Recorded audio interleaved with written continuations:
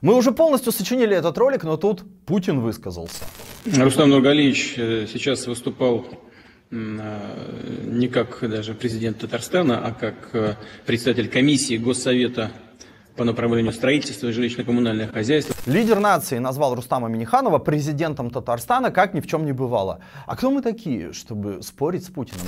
1 июня минул очередной дедлайн переименования высшего должностного лица республики. Тема тонкая. Нацики от Бересты бесятся, что не до конца переименовали. Нацики от Тубетея бесятся, что пришлось о переименовании думать. Привет, империя! Давайте об одной из главных скреп Татарстана. Это о должности президента республики. Сразу, есть официальная риторика на эту тему, и ее очень много. Есть риторика неофициальная, в стиле «что себе татары позволяют». Вот этим берестяным энтузиастам мы точно советуем охладить траханье. Татарстан себе позволяет платить в бюджет России 1 триллион налогов в год. Нам есть о чем разговаривать с метрополией. А вашим унылым властям отдать, как правило, нечего. Вы ждете субвенции от Москвы, которая пересылает вам деньги, уплаченные тем же Татарстаном, например. Право сильного говорить с сильнейшим. Мы разговариваем о принципах с Путиным. Мы не разговариваем с брянскими и рязанскими батьками из гаражей.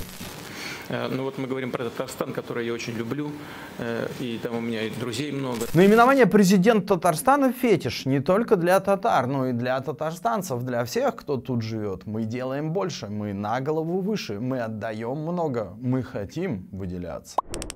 Нет никакой дилеммы двух президентов. Система власти Татарстана точно эффективнее какой-нибудь Калуги. Мы регион федерации. Это не оспаривается адекватными людьми. С этим не согласны только беглые туранисты. Но нам плевать на гарканье с берегов Босфора. Мы с берега Казанки не спорим со своей субъектностью в федерации. Мы хотим, чтобы было понимание, кто регион номер один.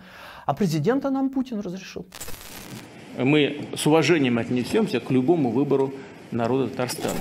Итак, мы застряли в какой-то середине. Президент, в скобках, глава Республики Татарстан или глава, в скобках, президент Татарстана. А вот та самая тирада Путина начиналась с поговорки. Вы знаете, у нас ведь, э, как в стране говорят, хоть горшком назовите, главное, чтобы в печку не ставили.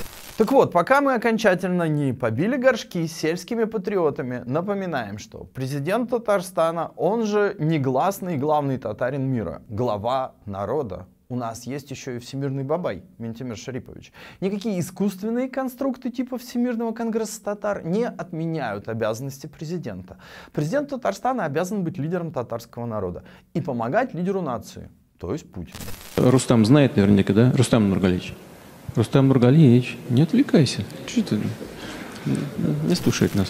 Короче, у нас президент Татарстана, потому что нам согласовал президент России. Очень просим не лезть к нам всяких тульских патриотов. Сидите дома. Триллион налогов сам себя не заплатит. Вы же с наших нефтей свои пенсии получаете. Не надо лезть в механизм, который работает. Не дай Всевышний, что-то поломается, и новый засланный глава Татарстана будет не так эффективен, как нынешний президент. Ваши же брянские дарлы положат на полку свои вставные челюсти. Сау Булугас, Кадрле Дуслар. Это был недовольный треугольник. Ставь нам лайк лайк в Ютубе, ракету в Рутубе, какашечку в тележеньке и деревенских русских патриотов на место. Увидимся через неделю.